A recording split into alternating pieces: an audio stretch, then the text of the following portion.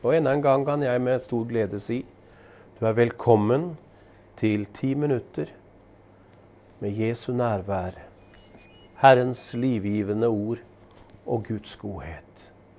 Så far, jeg bare priser deg og tilber deg, Jesus, for den langmodighet og kjærlighet du viser. Jeg takker deg for at din barmhjertighet strekker til.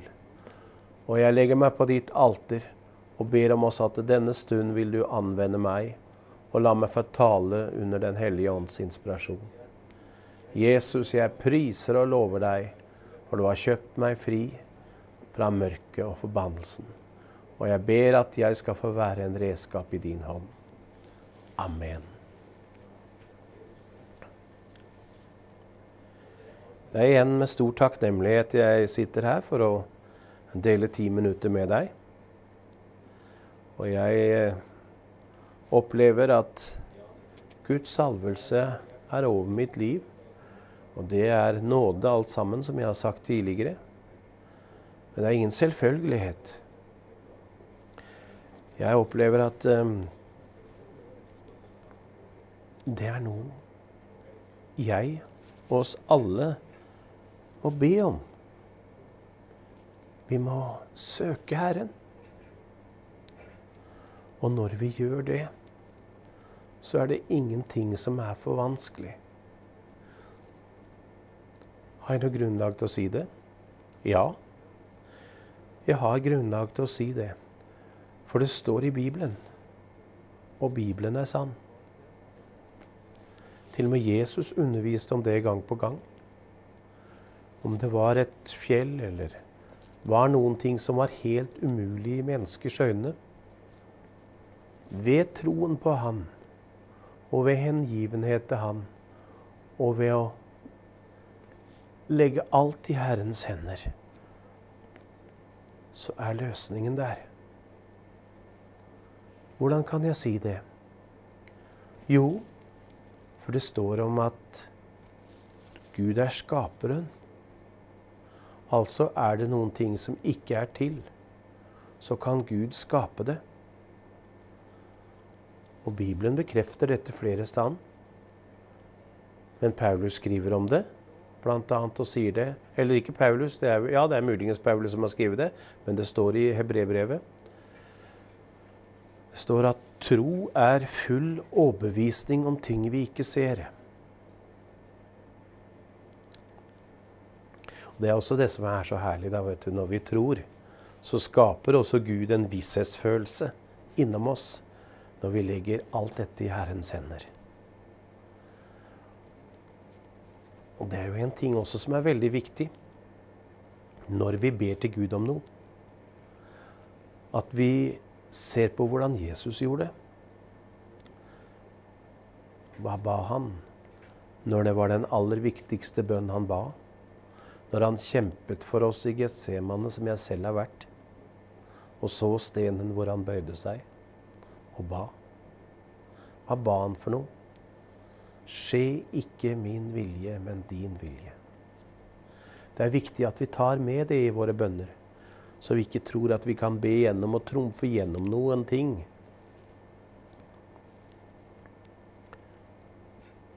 Om så Gud hadde gitt oss det, så er det ikke sikkert det hadde vært bra for oss. Men ber vi denne bønn, skje din vilje, Jesus. Skje din vilje, Far i himmelen. Så vet vi at det er riktig, og det er i enlighet med Guds hjerte og til gagn for våre liv. Jeg har stått overfor situasjoner og bedt for mennesker til både helbredelse, ja, til og med så godt som å bli reist opp ifra døden, og det har skjedd. Men jeg har alltid bedt om din vilje skje, Jesus. Jeg har bedt for mennesker som har dødd. Men jeg har bedt også at din vilje skje, Jesus. Vi kan ikke styre over død eller liv. Dette ligger i Guds hånd. Men Gud har lært oss måter vi skal leve på og handle efter gjennom dette underbare testamentet vi har fått. Det er testamentert til oss. Og jeg blir minnet om å oppmuntre deg ved at du skal lese Efeserbrevet, kapittel 1 og 2 for den saks skyld. Skal du se hvilken verdighet du har i Gud. Du har sikkert hørt andre kanskje ha nevnt dette også, men jeg har praktisert det flere ganger. Jeg har faktisk alt lest i dag til og med, på morgenen. Og jeg har lært meg til å sette inn mitt eget navn der det står 'vi' eller 'oss'. Skal du se hvilken verdighet og hvilken posisjon og hvilken godhet du får oppleve i Gud. Hvordan kan jeg gjøre det? Jo, for Guds ord er til meg, til deg og til alle som vil ta imot det. Derfor kan jeg gjøre det. Derfor gjør ikke jeg noe feil om jeg leser disse versene, der det står 'vi og oss', som Paulus fører i penn og skriver. Det er til meg også. Det er til deg også. Gjør det, og se hvilken nåde Herren har for deg. Hvordan Han kan bruke deg, og hvordan Han kan velsigne deg. Vit også det, min venn, ved at du venner til deg til Han i takknemlighet. Om det så står på masse vanskelige ting. Hva skal jeg takke om, sier du? Jeg har det så vanskelig. Takk Gud for de godene du har. Kanskje du er så frisk at du kan gå på to ben. Så takk Gud for det. Takk for at du har sånn klarhet i sinnet at du forstår det som nå blir sagt. Så takk Gud for det. Takk for at du har mat for dagen i dag. Så takk for det. Takk for at du har fått vokst opp i et land hvor det er fred og nåde å være uten at du blir pressa. Men har du ikke det, så takk selvfølgelig ikke for det. Vi skal ikke takke for noen ting vi ikke har. Det er ikke det jeg snakker om, at vi skal lage en historie ut av noe som ikke er. Men la oss takke for det som vi har, og vi har fått oppleve som er godt og positivt. Hvorfor sier jeg deg dette? Jeg kan si deg det hvorfor jeg sier deg det, iallfall. Jeg har fått oppleve det at Gud har talt til meg om det. Og han har minnet meg om det når jeg har stått overfor vanskeligheter og det har vært jobbig. Hva tror du har hendt? Jeg begynte å åpne meg for takknemlighet av de tingene som har vært positive. Og det har grepet mitt hjerte, så har jeg bare begynt å prise Gud, tilbe Han i takk og lovprisning. Og før jeg har visst ordet av det, så har det forsvunnet, det som jeg syns var en vanskelighet. Og i neste øyeblikk så har det endret seg også. Det har blitt bra, det som var så negativt. Det har blitt godt, det som var så feil. Tror du meg?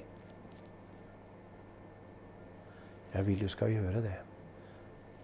Jeg har opplevd det, og jeg vet at Jesus, eller Gud, han gjør ikke forskjell på oss. Han vil velsigne deg også. Men begynn ikke å takke for noe som er feil. Og tro at du er nødt til å gjøre det på den måten.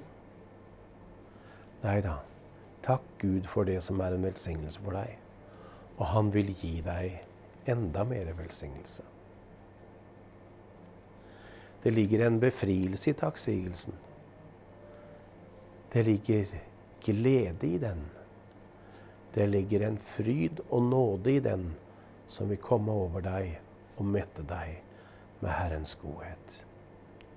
Takk, Jesus, for at jeg også har fått tale fram disse ordene, for jeg har kjent har vært i enlighet med ditt hjerte.